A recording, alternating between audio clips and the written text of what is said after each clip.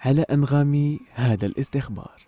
تتفنن سهام في تجسيد صورة أحد أعمدة الأغنية الشعبية الهاشمي قروابي مجسدة ملامح ونظرات محبوب الجزائريين في هذا الجدار من خلال فن الجرافيتي.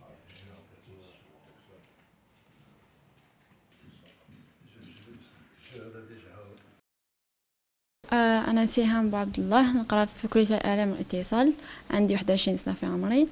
آه هذا الرسم بدا معايا ملي كنت صغيرة. نرسم في الورق. نحب نرسم شخصيات كرتونية. وكبر معايا وطورته بنفسي. أنا بالعقل بالعقل طورته. اولا الرسم على الورق قريب كامل ولا الرسم على الورق. بصح في الجدار يبان ديسان كبير ويبان ويجي شباب خير.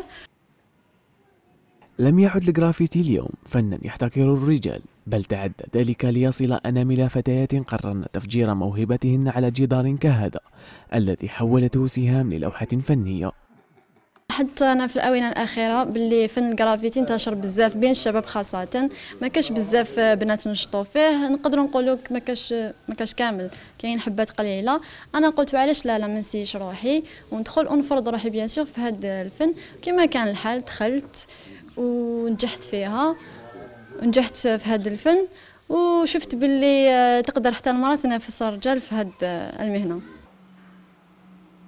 هي عينة عن فتيات اخترن ولوج عالم الفن بطريقتهن الخاصة فرغم تكوينها العصامي إلا أن سهام لم تتردد في ترجمة أفكارها وشغفها من خلال الجرافيتي الذي احتكر طويلا من طرف الرجال.